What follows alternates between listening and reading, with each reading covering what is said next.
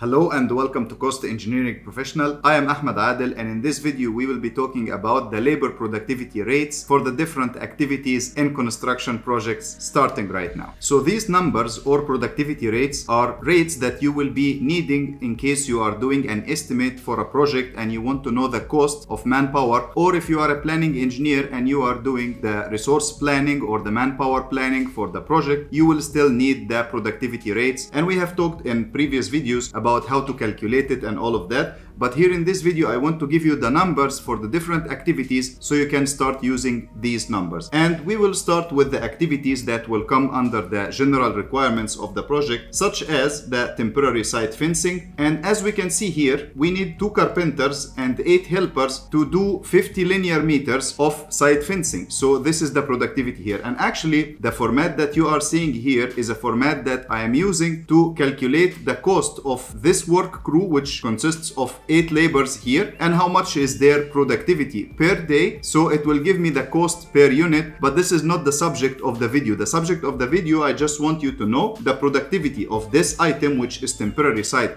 Fencing, I need two carpenters and eight helpers to do 50 linear meters of site fencing per day. Going to the second activity here, which is the project signboard. So I need one carpenter and I need three helpers to do one project signboard. To fix one signboard, I need three helpers and one carpenter for one day to fix one project signboard. Then after that, if we go to the temporary site office and the store, so it's just one caravan, let's say of two rooms. I need two carpenters and 8 helpers, so 10 laborers. I need to install this caravan in one day with the help of mobile crane, of course. And then after that, we can go to the concrete casting. So the concrete casting, I am only casting the concrete. So for the concrete casting, I need one helper and one mason to cast 12 cubic meters of concrete per day. And this is coming from another calculation where I had how many meters cube I needed and how many laborers I had in the site. And when you do the calculation or when you do the math, it results that one helper and one mason can cast about 12 cubic meters per day. All these calculations are assumptions and they are mine, so they can be different from yours. The laborers who worked with me, let's say maybe your laborers are better than them or worse than them. So these are just numbers for you to start with and you can develop from there. You can increase the productivities or decrease the productivities and so on. So for the concrete casting, as we said, one helper and one mason can cast 12 cubic meters per day. Then after that, we have the form work for the shuttering. And actually, I split this item here into two items. I have the general form work, which is the form work of any element other than the slabs. And I have the form work for the slabs. So two items are there. So if I am doing any item other than the slab, I need one carpenter to do four square meters of form work in a beam, in a column, in a core wall, whatever. But if I am working with a slab, I need one scaffolder and one carpenter to do seven square meters per day. So here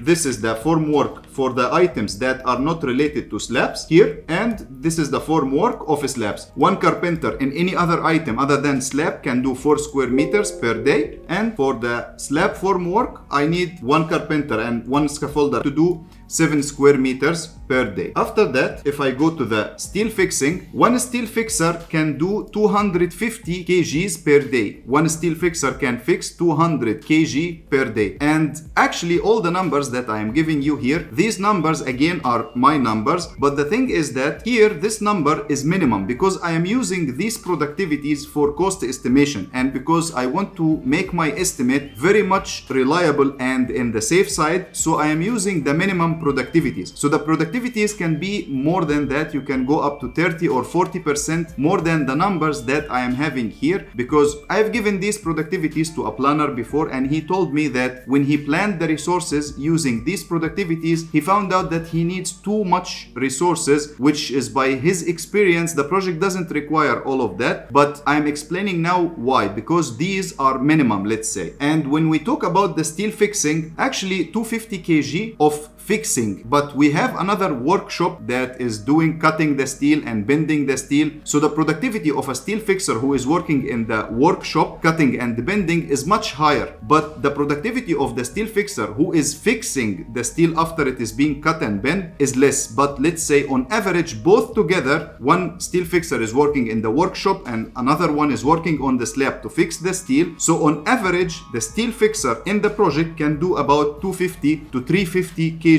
per day. So this is about the steel fixing. Now let's go to the block work installation. So for the block work, we need one mason and one helper to install or fix 8 square meters of block work per day. And actually before I worked with some masons and some laborers who used to install about 16 square meters per day if we give them double present or let's say 4 hours overtime they used to fix double the productivity here, but again, the pay is double. So in 12 hours of work, 8 hours plus 4 hours, which is considered as double present because 4 hours overtime will be double the normal hour price. So they used to install or fix between 16 to 18 even square meters per day. But if you will not use any overtime, then one mason and one helper can do 8 square meters per day, let's say. Then let's go to the floor tile fixing. So one mason mason and one helper can do 12 square meters per day. It can be 15 also, that's fine. So let's say 12 to 15 or even it can go more. Again, it depends on your labors, how much good they are and what is their experience and all of this stuff. These numbers are just for you to start with. Then after that for granite and marble floor fixing, one mason and one helper can do 4 square meters only per day because it is harder than the normal porcelain or ceramic tiles. Then after that for the skirt skirting, one mason and one helper can do 35 linear meters of skirting per day. And there is one important point that I would like to highlight here related to the floor and wall tiles. Actually, the wall tile is usually easier than the floor tile. Why? Because the wall tile doesn't need all that filling and then leveling the filling and then putting the mortar and all. And when it comes to the mason works, the block, the plaster, the floor tiles, wall tiles, all these mason works, sometimes sometimes two masons can work with only one helper. But here, what I am assuming is the standard case where one mason will have one helper to help him to install the skirting or the floor tiles or wall tiles or anything. So I am trying to keep the things at the safer side. But as I told you, from the practical point of view, one helper can do mixing the mortar and material handling of block and tiles and all this stuff. For two masons, it can happen. But the case that I am considering here is one mason and one helper for all these things. For the block work, one mason, one helper. For the floor tile, one mason, one helper. For the granite and the marble, for the skirting and all this stuff. Coming to the internal wall plaster here, you need one mason and one helper to do 10 square meters of internal wall plaster. And I have seen one mason and one helper who did 30 square meters actually per day, but this is not the standard case and they will not do that every day. So I want one number that can be on average applicable every day. So 10 square meters every day, consistent,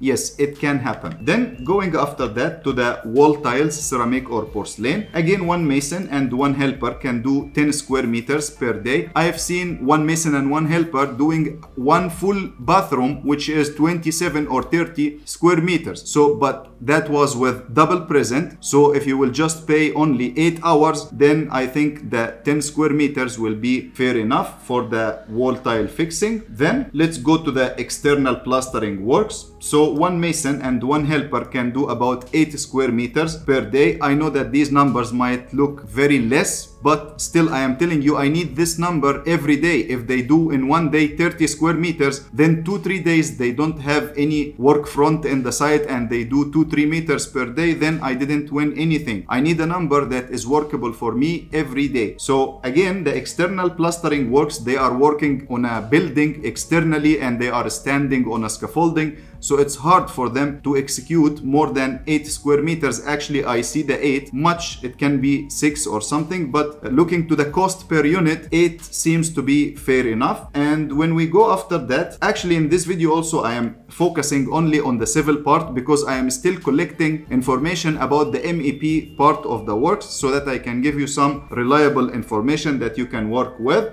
So I'm dedicating this video to the civil part only and the MEP I'll do later on. So for the interlock tiles fixing, one mason and one helper can do 15 square meter per day. And for the curbstone fixing, one mason and one helper can do 15 linear meters per day. So as I told you, I was using this file to calculate the cost per unit where I have the cost here of this work crew, either it is two carpenters and eight helpers or either it is one mason and one helper the cost of the crew and the productivity of the crew to calculate the cost per unit of this activity. So here I've shared with you these productivities and this video here will show you how to calculate the productivity and the below one will show you how to calculate the labor cost for each item. And thank you so much for watching and I'll see you in the next video. Bye bye.